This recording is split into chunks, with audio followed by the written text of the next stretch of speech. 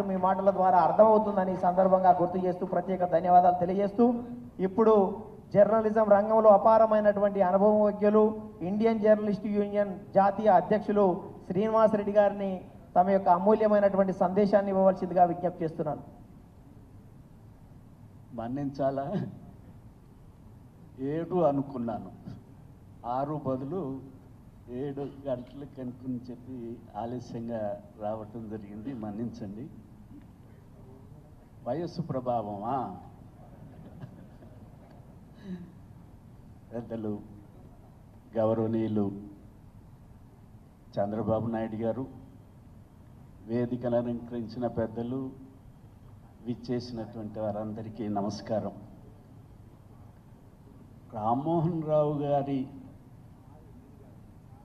ఎదుగుదల నేను కింది నుంచి పైకి చూశాను. రామ్మోహన్ రావు గారి ఎదుగుదల గురించి మాట్లాడితే ఎన్టీ రామారావు గురించి మర్చిపోవటం తగదు. అలాగే చంద్రబాబు నాయుడు గారి గురించి మర్చిపోవటం తగదు. మిత్రులు అయ్యన్న పాత్రి గారు చెప్పారు ఎన్టీ రామారావు గారు మన తెలుగు రాష్ట్రంలో ఉమ్మడి రాష్ట్రంలో తెలు- తెలుగు ప్రజలకు సంబంధించి ఒక వ్యవస్థని కూడని నచ్చని ప్రజాక్షేమాన్ని కోరని ఒక వ్యవస్థని కూకటి వేలతో కూకటి వేలతో పకిలించేసేసాడు అనేక అంశాల్లో అనేక అంశాల్లో కూకటి వేళ్ళతో వేళ్ళూనుకొని పోయినటువంటి ఒక వ్యవస్థని ఒక్క మనిషి ఊహించలే ఎవ్వరూ ఊహించలే. ఒక సినిమా యాక్టర్ వస్తున్నాడు రాజకీయాల్లో గందరగోళం చేస్తాడు రాజకీయాల్ని అరాచకం చేస్తాడు అని విమర్శలు ఎదుర్కొన్నటువంటి వ్యక్తి కూకటి వేళ్ళతో కదిలిచ్చేసేసాడు ఒక తరానికి ఊహించని తరానికి రాజకీయాలు నేర్పాడు రాజకీయ అధికారాన్ని కట్టబెట్టినటువంటి వ్యక్తి ఎన్టీ రామారావు గారు. చరిత్రని పుస్తకాల్ని చించేస్తే చరిత్ర ఎట్లా పోతుంది? చరిత్ర చరిత్రనే ఎవ్వరూ తుంచలేరు. కొంతకాలం ద్వేషించవచ్చు కొందరు అభిమానించకపోవచ్చు తప్ప చరిత్ర చరిత్ర. ఆ క్రమంలోనే చంద్రబాబు నాయుడు గారు అధికారంలో ఉన్నప్పుడు సహజంగా విమర్శలు ఎదుర్కొంటారు. అధికారం ఖచ్చితంగా విమర్శలు ఎదుర్కొంటుంది.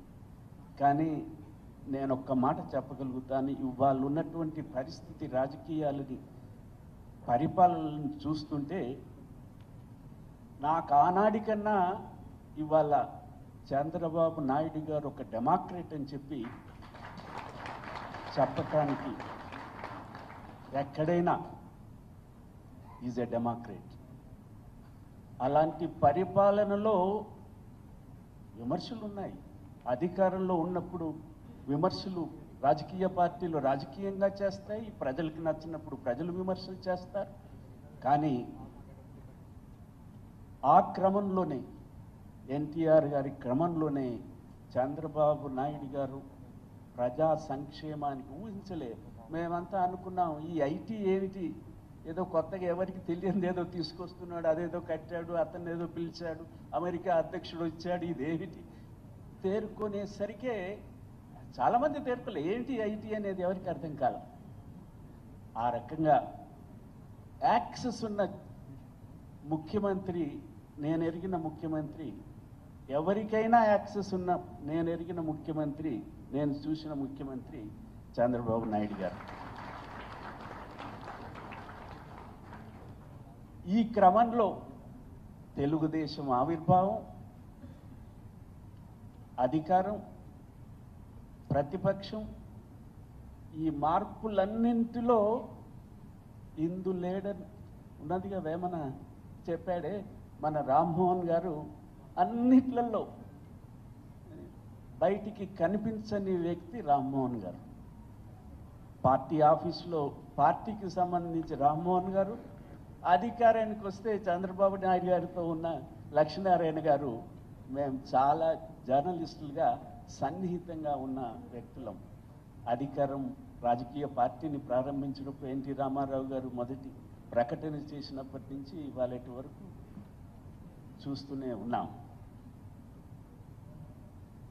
వారు రాసిన పుస్తకం తన అనుభవాల్లో తన జ్ఞాపకాలు సుదీర్ఘంగా ఆయన రాయలే ఈ తెలుగుదేశంలో తెలంగాణ ఆంధ్రప్రదేశ్లో తెలుగుదేశం ఆవిర్భావం ఎన్టీ రామారావు గారు చూపినటువంటి చొరవ ఆ తర్వాత చంద్రబాబు నాయుడు గారు ఎదుర్కొన్నటువంటి సమస్యలు వీటన్నింటినీ క్లుప్తంగా డేట్ల వారీగా ఏదైనా చూడాలంటే రామ్మోహన్ రావు గారు రాసింది ఒక కరదీపిక.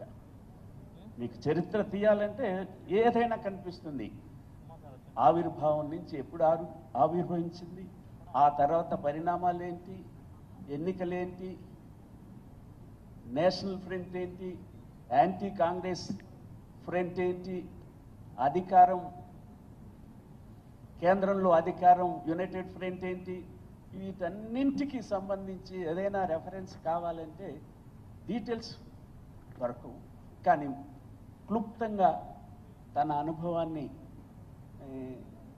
పుస్తకం ద్వారా అందించినందుకు మిత్రుడు రామ్మోహన్ గారిని మనసారా అభినందిస్తూ ఖచ్చితంగా నాకు పుస్తకం చదువుతుంటే ఒకటి బాగా నచ్చింది. ఇవన్నీ నేను కూడా వారితో పాటు వీటన్నింటిలో